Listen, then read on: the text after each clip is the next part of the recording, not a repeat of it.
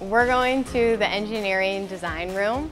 Uh, I'm working on my ACE project right now and we're building a 3D model. My name is Nayera Abdessalam and I'm a senior at Omaha North High School.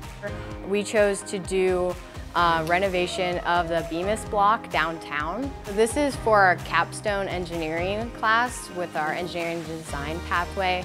Nayera Abdessalam is a prime example of what students can accomplish when they take advantage of all the opportunities afforded to them at Omaha Public Schools. I think because our district is so large, there's so many people working behind the scenes to create these opportunities. Now we're going to the journalism and newspaper room, editing the newspaper, writing, designing graphics, um, and putting it all together at the end.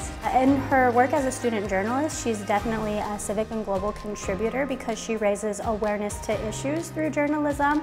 Um, so she's a strong writer, which she's developed her skills in her English classes, but a lot of the things she writes about are STEM related. My passion for science really started in middle school, and I took a physics class at North my eighth grade year.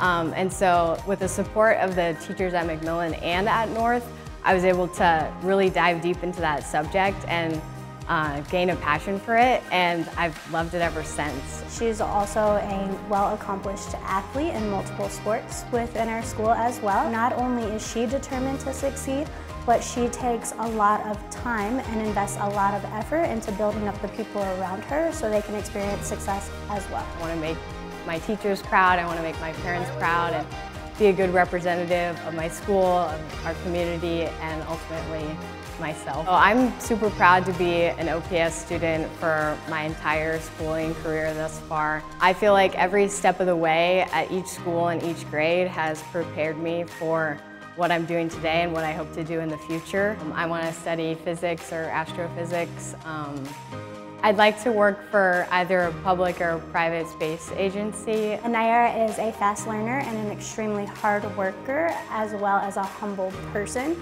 So she does like to challenge herself with new opportunities. I have no doubt in my mind that she will accomplish her goals.